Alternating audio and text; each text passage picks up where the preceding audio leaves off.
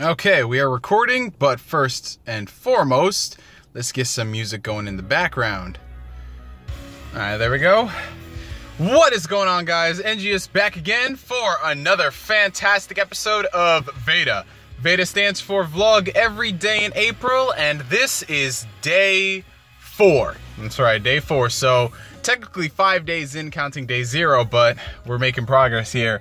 So, it is Saturday, April 4th, and it is a beautiful sunny day outside. You don't really see that too often, especially in the last couple weeks. But spring is almost in full effect. It's been raining a lot the past couple days, but when you get a nice beautiful day like this in the 50s, it feels like a day in the 80s. So, you know, it's pretty good. Again, apologize for the undershirt. I'm on break at work right now and I close on Saturday evenings. So unfortunately, I'm not really gonna have too much time to upload a Veda video when I get home because I'm gonna be pretty damn tired. So, you know, we're being resourceful here. Anyway, um, the topic for today's episode, um, I think I'm kind of gonna wing it. Uh, this is something that a lot of people have been asking me about for the past couple of years, really. And it has to do with relationships. Um, females, what kind of females am I into? Um, what do I look for in a woman when I'm going into a relationship? And I've talked about this in live streams before, but you know, I felt like sharing um, what I actually look for in a female. So, to be point blank, I know a lot of people when they say, What are you looking for in a female? They start off first with ethnicity. They say, Oh, you know, I only date X ethnicity, Y ethnicity. You know, they look for that in females. And I really have no real preference when it comes to whatever a girl's race is, you know, because I believe there are beautiful women of all races, of all ethnicities. So that's not the biggest thing to me. And the past couple relationships that I've been in, it's been with women from different ethnicities. Eh, can't even speak today. You know, I've been with white girls, black girls, Latinas, you know, have not gotten an Asian yet, but uh, one day I'll work on that. And I know someone's about to come in here saying, what is it with you black guys and Asian women? But, you know, I, I do kind of want to experience the entire world, if that makes sense. I know I'm going to get a bunch of racist comments because of that. But um, yeah, I don't really look at race too much when it comes to women. Um, I look for personality. Obviously, that is a main thing that's going to keep me coming back for more because I want to be with somebody who I can connect with on not just the physical level, but emotional and just everything from there. Because, you know, while having a physical attraction to a person is great, there are a lot of benefits to it. You know, there's only so far you can go with that. You want to have someone who's able to connect with you. Um, that's the number one thing that I look forward to. Of course, people are going to say, oh, you see, typical answer, you look for what's inside that matters and not what's outside, so you don't care about what they look. Wrong. When it comes to personal appearance, I take pride in somebody who, you know, looks very good, somebody who maintains their appearance because you're ma maintaining your personal appearance says a lot more about you than you think. A lot of people think that, oh, you know, I'm just gonna dress whatever I want and it doesn't matter because I have an amazing personality. You know, that may be true for, you know, 10% of you. You know, I, I think that if a person takes care of themselves, now I'm not talking going out of their way to look like a supermodel. I'm talking basic hygiene, you know, they fix their hair, they wear decent clothes that, you know, fit their physique and everything. I think that says a lot about them because they take care of themselves. And yes, we do live in a society that prides itself on how well you maintain yourself. That is true. And to some degree, we all do believe that. And there's nothing wrong with wanting to be with somebody who looks good. Because if you spend all this time looking good for yourself and the person who you're with is a slob and doesn't take care of themselves, you know, where where is the attraction in that? You want a person long term who can take care of themselves. Because if this is someone who you're going to be in a relationship with, someone who you're going to be introducing to your parents, your close family friends, or someone who you're going to have kids with, you want to make sure that, you know, they can at least dress your kids appropriately. And of course, I'm not saying this in the extreme sense that, you know, you have to look like a supermodel every single where you go. I'm talking handling the basics, taking everything into account, which isn't too much to ask, you know, because if you're a person who, man, doesn't even brush their teeth, who, you know, doesn't, you know, floss, who doesn't rinse, mouthwash, who doesn't, you know, just do the basic stuff, you know, proper hygiene, you know, that says a lot about you.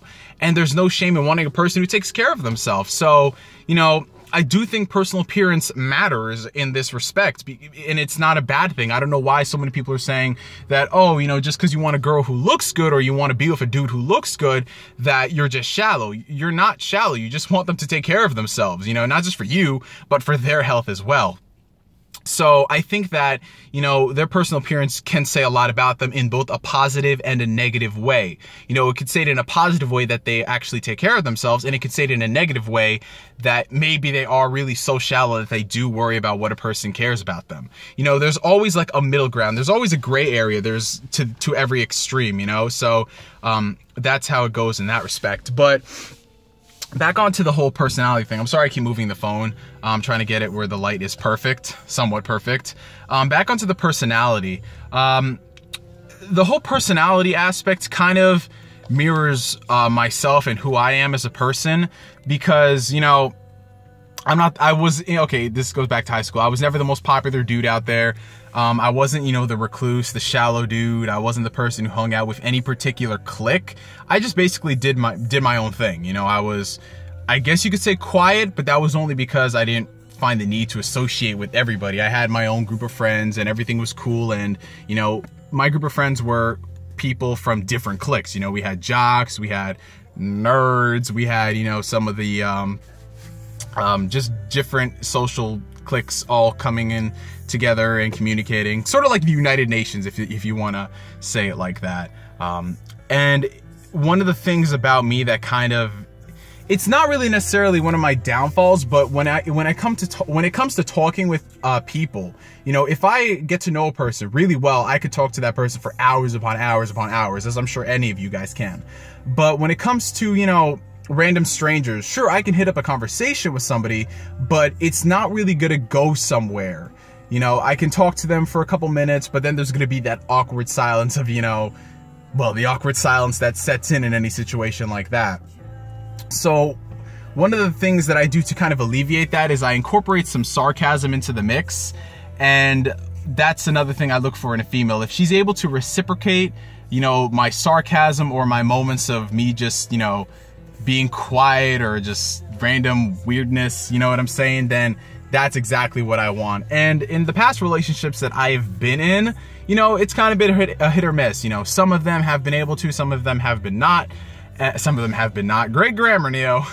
Some of them have not been able to, but that's one thing that I really do like. A girl who can be equally sarcastic with you, a girl who can just play off of the things that you say so there's no weird, awkward, um, awkward moments. That's that's definitely what I look forward to in a in what I look forward into a female.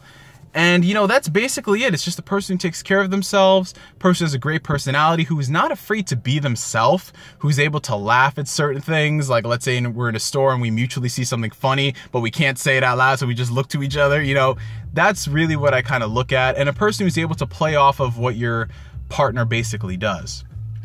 Um, and that's basically me. That's my type of girl. I know to a lot, it seems very traditional, nothing too crazy. You know, why don't you want a person who does this, this, this? Because I don't look about that stuff first because that is only necessary to me once I have made the decision to go after said female. Like her hobbies, her goals, you know, where she wants to be in five to 10 years. That stuff is interesting to me after I get past that initial point. Cause you don't want to overwhelm things in the very beginning because then you're going to be at like, you're, you're going to be stuck like, okay, what do I want to do? What do I don't want to do? What do I want to do? What do I don't want to do?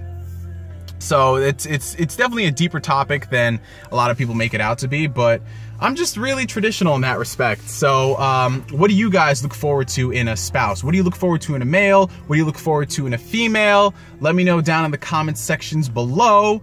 And yeah, from me to you for now, I'm NGS signing off from day cuatro of Veda, and I will catch you guys tomorrow.